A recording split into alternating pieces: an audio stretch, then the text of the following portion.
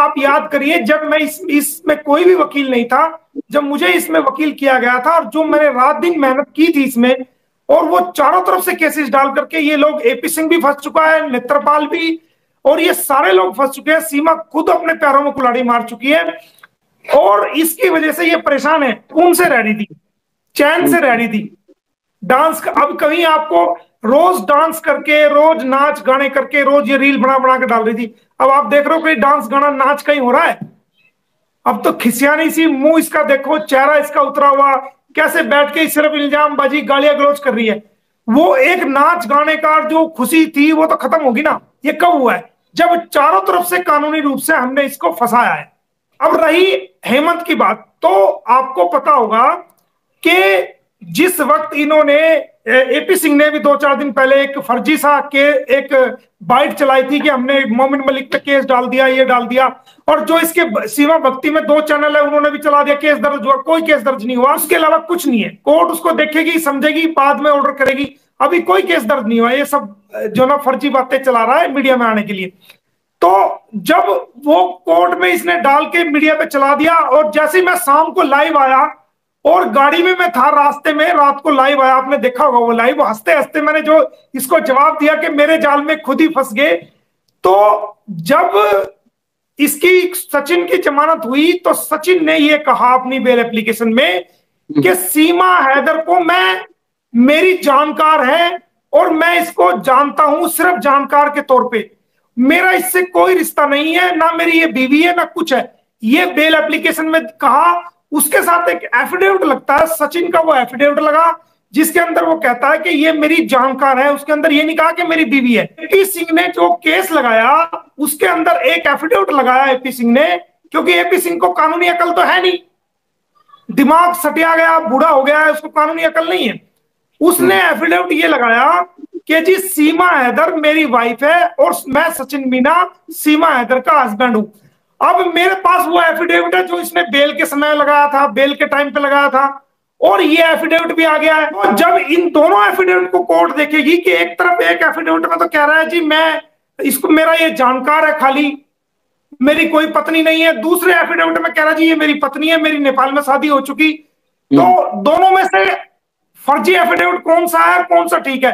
खुद ही फंस गया ना। ही इसके कोर्ट ही सचिन के खिलाफ 420 चार सौ सड़सठ जालसाजी का फरेब करने का धोखाधड़ी का गलत एफिडेविट का इसके खिलाफ केस दर्ज करा देगी कोर्ट। जब हम एप्लीकेशन लगाएँगे कोर्ट में कि जनाब ये देखो यहाँ एफिडेविट में क्या कह रहा है और यहाँ एफिडेविट में क्या कह रहा है। तो जब मैंने लाइव में ये जवाब दिया तो एपी सिंह के तोते उड़ गए सचिन मीना के भी तोते उड़ गए। तो उन्होंने जानने की कोशिश की कि यार कौन सा एफिडेविट है सचिन का? तो उन्होंने पारासर से वो कागज़ मांगे कि हमें वो कागज़ दो। वो कॉपी दो। अब पारा सर ने वो दी नहीं। अब जब हम्म, पारा हम्म। सर ने दी नहीं इधर इनकी इनकी हालत खराब होगी। इन्होंने केस तो डाल दिया लेकिन डाल के अपने गले में फंदा खुद डाल दिया इन्होंने। तभी तो मैं हंस रहा था कि मेरे बिछाए हुए जाल में खुद फंस गए। हंसा था ना? जी जी जी जी। वो तो मेरी वो मेरी कानूनी चाल थी कि ये एफिडेविट दें और ये फंसे। केस को तो हम अपना आप देख लेंगे। केस को हम अपना आप देख लेंगे। उसकी दिक्कत नहीं है। लेकिन अब जब उन्होंने इसके कागज़ नहीं दिए ये चाह रहे थे कि वो एफिडेविट देखना कि उसमें सचिन ने क्या लिखा हुआ है। तो वो उसको उसने कॉपी उसने दी नहीं। तो जब कॉपी नहीं दी तो फिर एपी सिंह ने इसको स्क्रिप्ट लिख के दी कि हेमंत के खिलाफ आप ये वीडियो बनाओ। ये तो कहानी है। अच्छा ये गुस्सा असल में इस बात का है कि हेमंत पराशर साहब ने फ़ाइल नहीं दी और वैसे कानूनी हिसाब से वो दे भी नहीं सकते। इनको अगर चाहिए तो वो कोर्ट में एप्लीकेशन दे कोर्ट से रिसीव कर सकते हैं। हेमंत साहब से नहीं ले सकते। हेमंत के बगैर कोर्ट से भी नहीं ले सकता एपी सिंह ठीक है। अच्छा सर लोग बार बार सवाल करते हैं हेमंत प्राचर साहब क्या बेल इसकी कैंसिल करा सकते हैं? हेमंत हेमंत परासर को अब इस वक्त क्योंकि वकील उन्होंने जाहरी तौर से बदल दिया है हेमंत परासर को इस बारे में राइट नहीं है कि कोई भी एप्लीकेशन वो उसकी तरफ़ से लगाए। हाँ हेमंत परासर अगर चाहे तो मैं अब जल्दी इसकी बेल कैंसिलेशन के लिए मैं मैंने केस तैयार कर लिया है। और मैं जल्दी फ़ाइल करने जा रहा हूँ। अगर जेवर कोर्ट से नहीं हमारी सुनी गई कोई बात नहीं।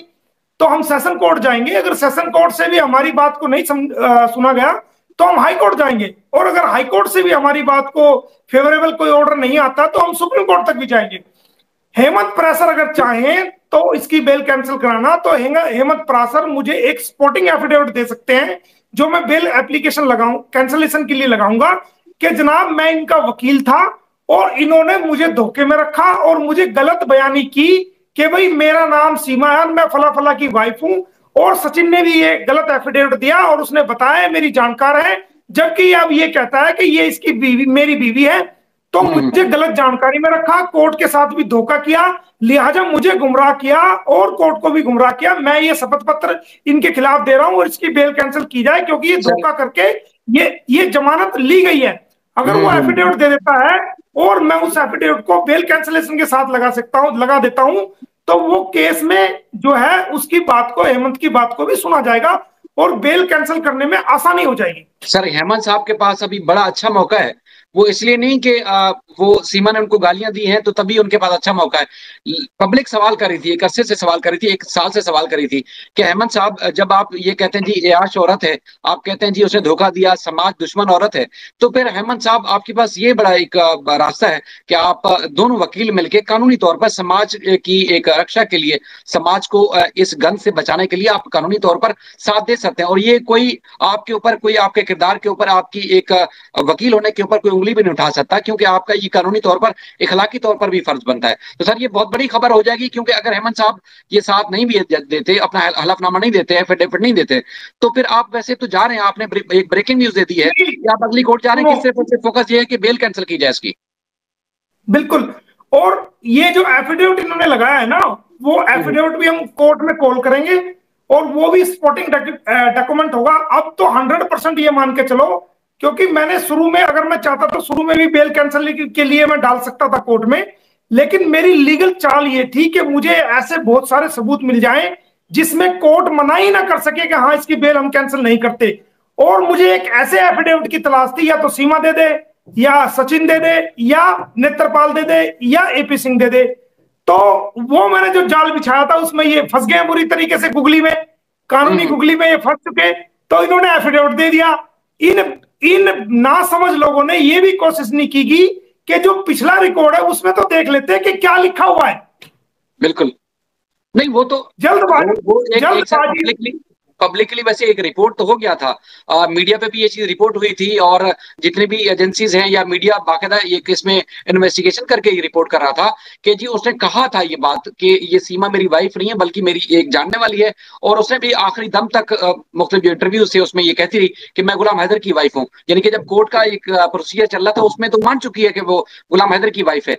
अब ये नया कांड है इसमें खुद फंस चुके हैं आप सही कह रहे हैं। सर वो कह रहे हैं सीमा अपने इंटरव्यू में बोल रही है कि जी, मुझे तो नोटिस नहीं मिला। सचिन बोल रहा हमें नोटिस नहीं मिला। आज पच्चीस तारीख है। सत्ताईस तारीख को हम कोर्ट कैसे जाए? हमारे पास तो नोटिस ही नहीं आया। आएँगे।